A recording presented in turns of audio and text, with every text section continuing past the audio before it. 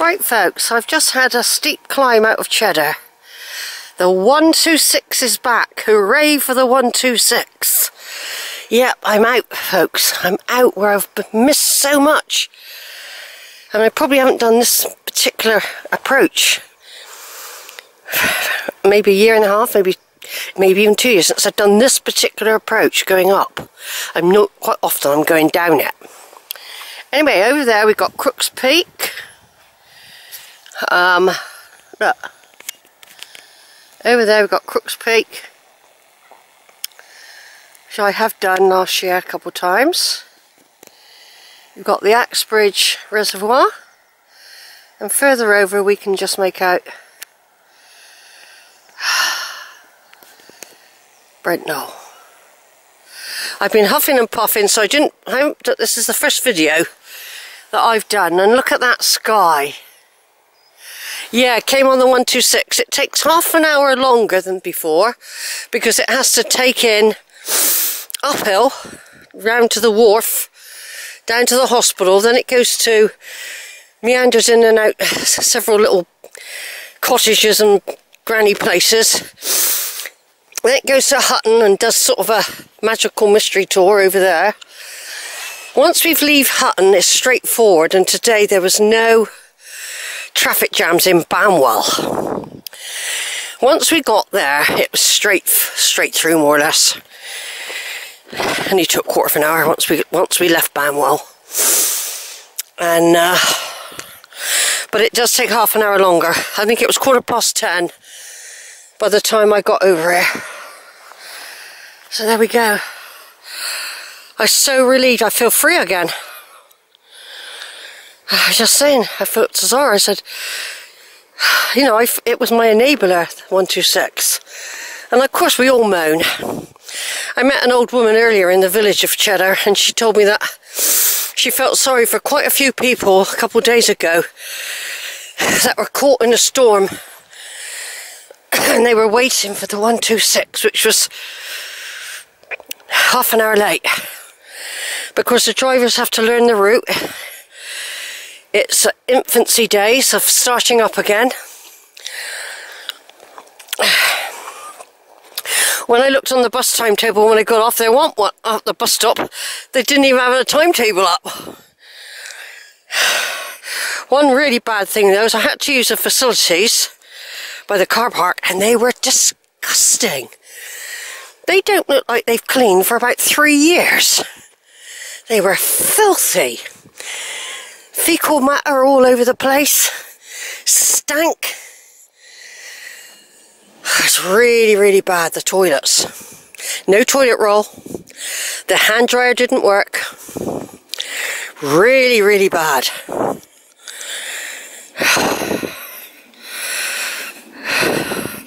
I kept as far away when I had to use the toilet as possible from it. Tell the truth. Cool blood. I wash my hands though. Use my own tissues to dry them. That was the only disappointing thing about it. And the fact there isn't a proper timetable on the bus, on the bus station. Whether locals, because locals, some locals who've got cars, of course, resent the bus for some reason they resent it. They don't really want all the lot from Weston coming over.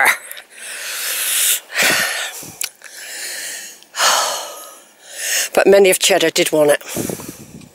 People without cars, teenagers, students, people wanting to go to hospital, people who just want to go to Weston to meet friends, do some shopping, and people from Weston who want to go to Wells and visit Cheddar.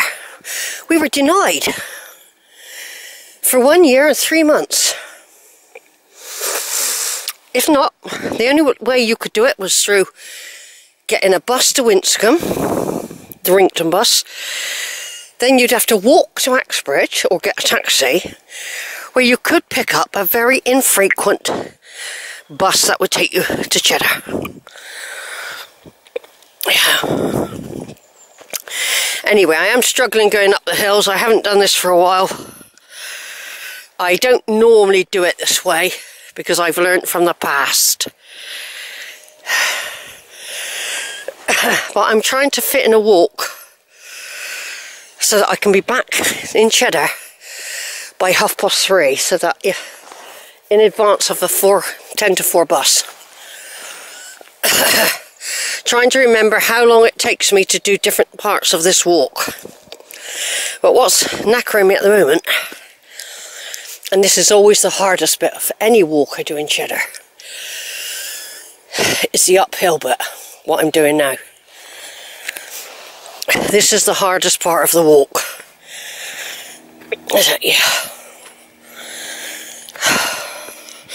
But I partly chose it. It'll level off in a minute. I partly chose it to avoid thick mud and water. When we get up the top, we'll be able to see Glastonbury Tor. It's standing bold and majestic. Right over there through those trees.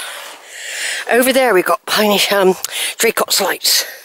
All the walks I can do when it's not the season of the cow, I can now do. I won't be coming out over the weekend. They don't run the bus on a Sunday and there's a restricted service on a Saturday. But the weather's supposed to be good for about six days. So I'm hoping to come over another time and fit in one of my other type of walks. Now it won't be the walk from West Mendip to Cheddar because that takes six or seven hours. I'd have to, if I did that, I'd have to get a very early bus. And that you're talking about quarter to seven in the morning. And you've got to get on with all the school kids. That's the only way I could do it, if I got the really early bus. So that might be something I might have to do. No cows around you. Right, I'm going to turn off for a minute, folks. Over and out. Right, second video of my visit to Cheddar area via the 126 bus. You see a lot of flooding on the levels, a lot of wet patches. I forgot how steep and how long it takes to get up this way. So I won't be rushing to actually come up this way again, which I never used to do much. I actually forgot how long it takes to get up from right down there up here. But my style's, it could be my style just up here. I decided I'm not going to do the alipakis today. What I'm going to do, I'm going to check the time. I'm going to have a nice drink of hot water. Then I'm going to gently go down the gorge and get that uh, half past two, three o'clock bus. I think that'll be enough for the first time out. Now, right over there, let me just tread on this hump. Right, oh, you can't see it properly from there. Um, well, over there, um, over there is um, Rowberrow, Rowberrow Warren. I'll be getting out there more now soon. This bus actually is really good because it actually visits other areas that I, I do and I usually have to get different buses for them. So now this bus takes me to um, Sandford where I can get into the Rowberrow Warren. Um, it takes me to Hutton, so I can get into Hutton Wood and do the walks over that way. And of course, all the villages along here. Draycott, I can do Draycott Sleights. I can even go to Wells and do the Wells to Cheddar walk. Um, it's opened up this particular bus, but the most I'm not going to say annoying because I am so grateful for this bus and it's good for the people that live in these little places that it has to go round the mulberry bush all around these little granny flats and granny cottages. I'm glad it does really. But it it puts half an hour more on the time. And um, but anyway, I'm grateful for having the bus. So they say it's trialled for 18 months.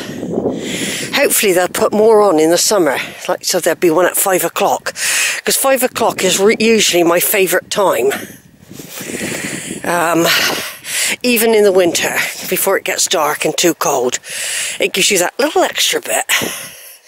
Now the fact that there's a bus at 20 past six is also good for when I go out when it's better weather and I want a bit of extra. Do you see what I mean? It works to have that later bus. Right then, so here we are. I'm going to check the time now. I'm going to have a drink of hot water. That's what I've brought out. Get a bar chocolate out or something.